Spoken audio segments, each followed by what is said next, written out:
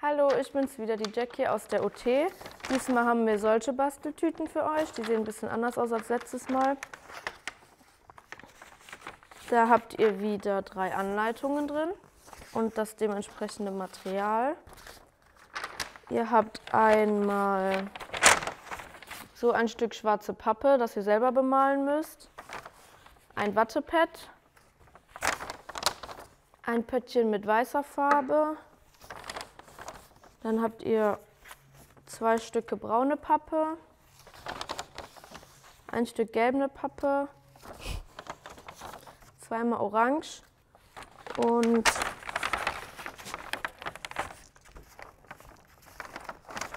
vier von solchen Kulleraugen. So, wir fangen heute an mit so einem Pinguin. Dazu müsst ihr erstmal auf das Stück schwarze Pappe euren Handabdruck abmalen.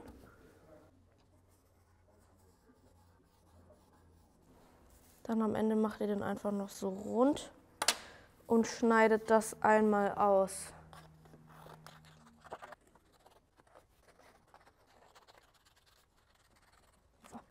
Wenn ihr euren Handabdruck dann fertig ausgeschnitten habt, nehmt ihr euer Wattepad und klebt das einfach so in die Mitte von der Hand.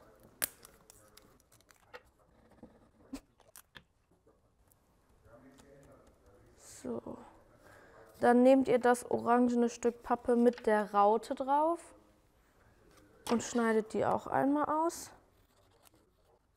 Die faltet ihr dann einmal so in der Mitte durch und klebt die hier oben dran, sodass das obere Stück quasi so ein bisschen absteht.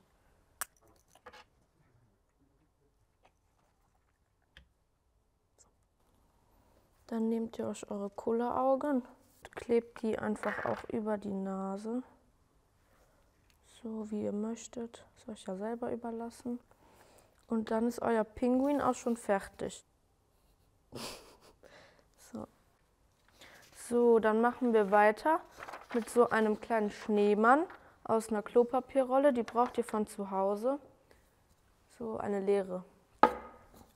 Dann nehmt ihr als erstes euer Stückchen weiße Farbe und malt die komplette Rolle einfach einmal weiß an von außen.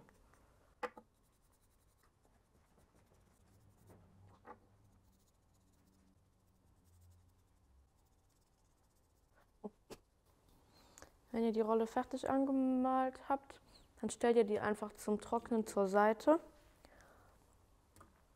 Macht euer Pöttchen wieder zu. Und schneidet aus diesem Stück brauner Pappe drei Streifen aus. Das werden nachher die Haare.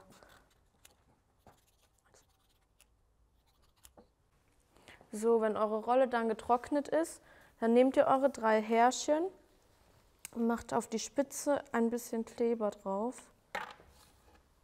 und klebt die auf die Innenseite von eurer Rolle, damit die dann oben so rausgucken.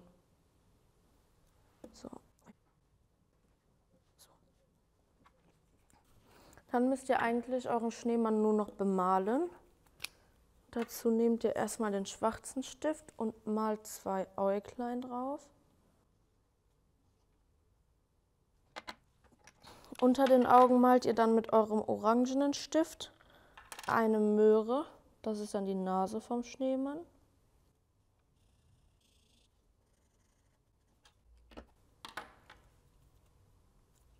Und darunter könnt ihr dann euren Schneemann Mund malen. Da könnt ihr, wenn ihr möchtet, so einen Zahn drunter malen, müsst ihr aber nicht. Und dann müsst ihr nur noch drei schwarze Punkte malen. Über die Augen malt ihr dann noch zwei Augenbrauen.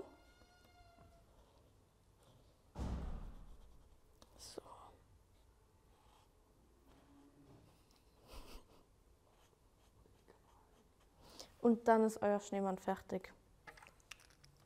So, jetzt zum Schluss machen wir eure Eule. Sieht man die? Gut. Dazu nehmt ihr euren Tannenzapfen, den müsst ihr draußen sammeln. Und als erstes schneidet ihr aus der braunen Pappe zwei Flügel aus. Wenn ihr eure Flügel dann ausgeschnitten habt, dann klebt ihr die einfach an die Seite von eurem Tannenzapfen. Da müsst ihr ein bisschen aufpassen. Es kann sein, dass das nicht so gut hält. Dann müsst ihr das einfach ganz lange festhalten, bis euer Kleber trocken ist und bis die Flügel ganz von alleine daran halten. Sonst fallen die nämlich wieder ab. Wenn euer Kleber angetrocknet ist, dann könnt ihr ganz vorsichtig weitermachen und schneidet aus eurer gelben Pappe die zwei Pfötchen aus.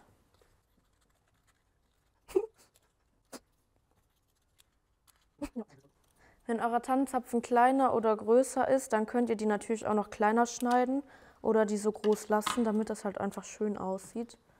Ähm, aber allerdings gucken auch am Ende nur noch die Spitzen da raus, deswegen. Die Füße von der Eule, die könnt ihr dann einfach hier unten so reinstecken zwischen die Lücken, weil das mit dem Kleber nicht so gut hält. Sieht genauso cool aus. So, wie ihr möchtet. Am besten macht ihr die Füße ein bisschen kleiner, dann sieht es besser aus. So, dann nehmt ihr eure zwei Kulleraugen und klebt die vorne in die, in die Mitte von eurem Tannenzapfen. Falls die Kulleraugen mit der Klebeseite nicht so gut halten, dann könnt ihr natürlich auch noch Kleber von euch selber drauf machen. Dann halten die vielleicht ein bisschen besser. Und zum Schluss müsst ihr nur noch eure Nase ausschneiden.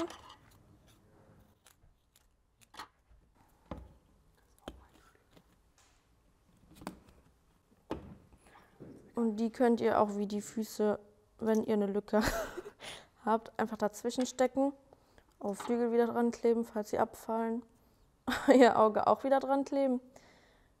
Und wenn ihr dann alles in Ruhe getrocknet lassen habt, dann sollte das auch halten und am Ende sieht es ganz süß aus.